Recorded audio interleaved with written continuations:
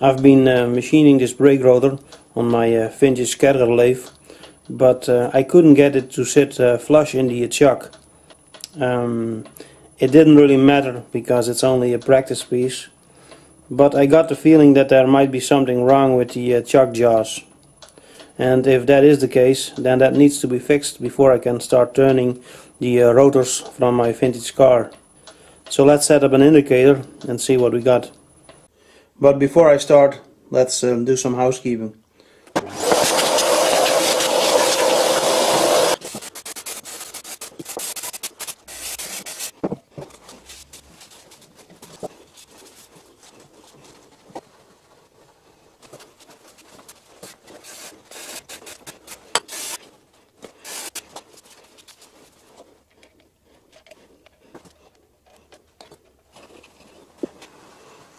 Yeah, that will have to do for now. I cleaned the uh, steps on the jaws. Uh, they were a little bit dirty. Some fly rust and uh, some baked on crud.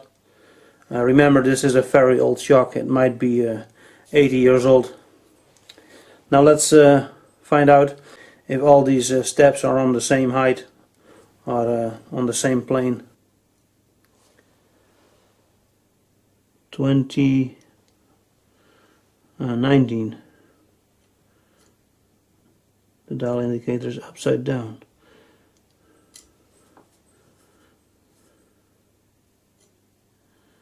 Uh, 15 and a bit. Going up to 18 so that's a little bit higher. Number 2 19 18 so they are definitely not all on the same uh, height. Let's uh, find out what happens when I uh, chuck up a piece of uh, scraptonium.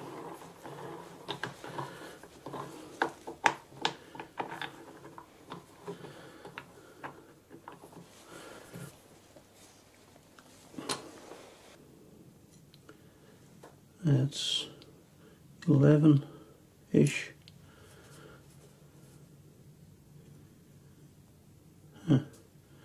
about eight.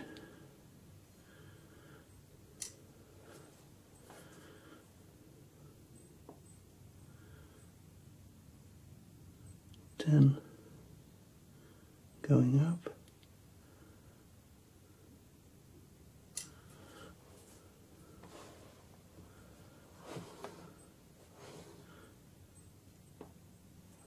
Eleven.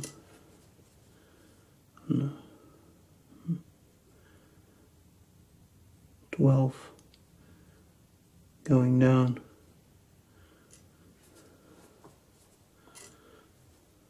Well that doesn't make uh, much of a difference. So it uh, looks like this chuck can definitely use a little bit of a tune-up and for that uh, I'm hoping to use my little uh, uh, pencil air die grinder that I also used uh, for truing up a collet chuck. Unfortunately that wasn't a great success but we will see how this goes.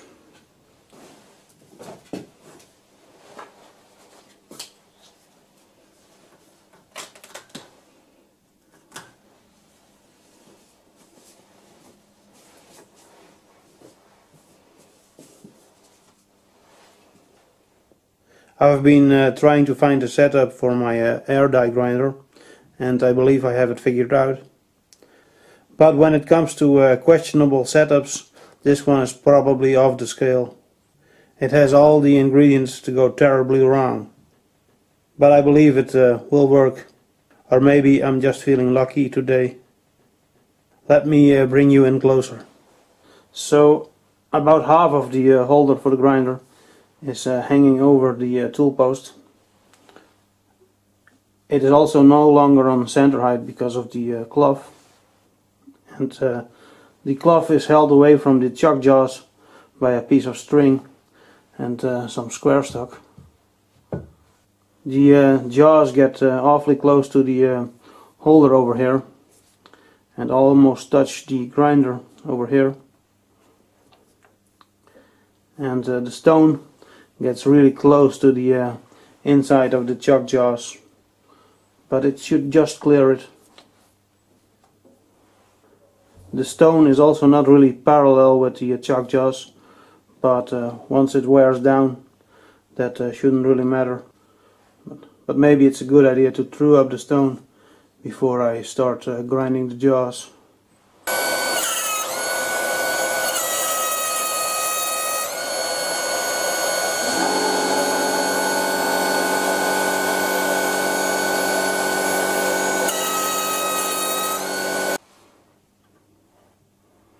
Well, it's barely touching, so let's try this.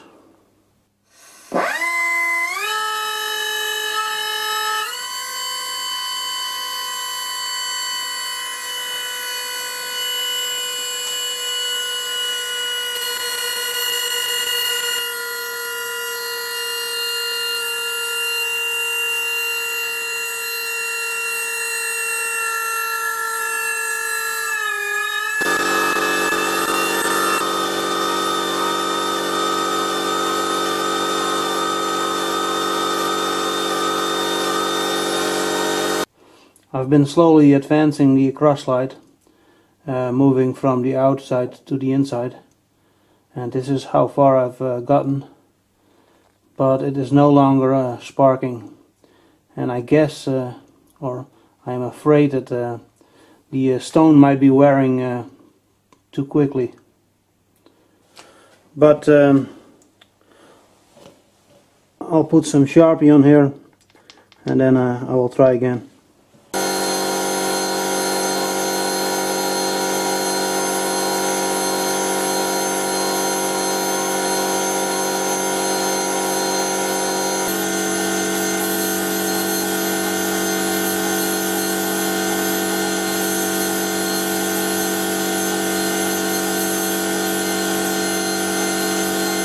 As you can see that uh, pass took off the slightest amount of material.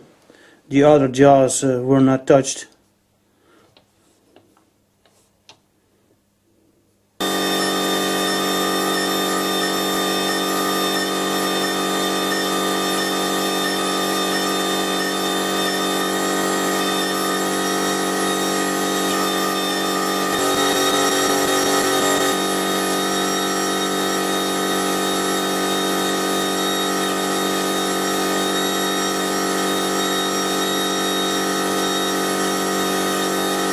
Second uh, pass finished. And this is how uh, jaw number one looks now.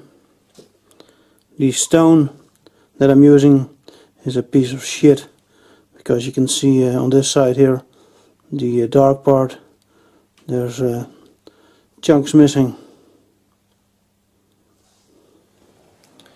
And if you look at uh, jaw number two and three two and three they were only ground uh, halfway and then it stopped. Almost like uh, the grinder moved or maybe uh, the stone uh, is wearing too much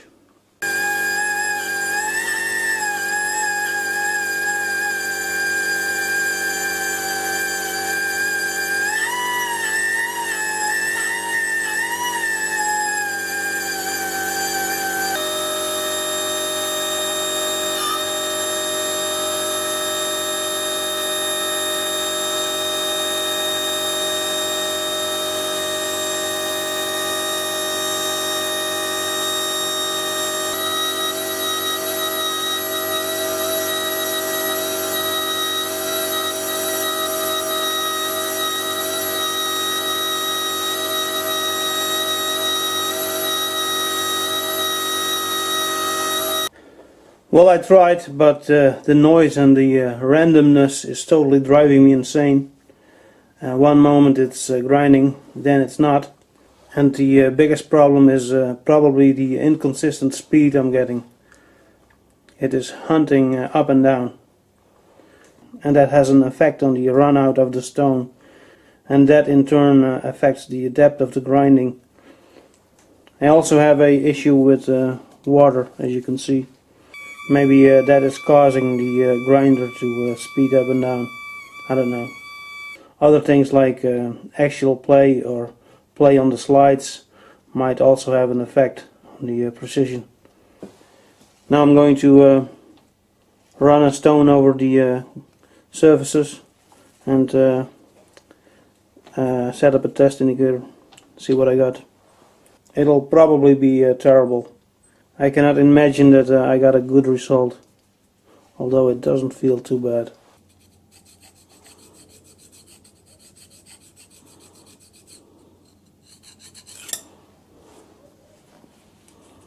Stoning uh, the surfaces really shows off the high spots. As you can see the uh, result is actually better than expected. Although the uh, surface of the jaw is a little bit bumpy. But I might be able to improve that by honing it a little bit more.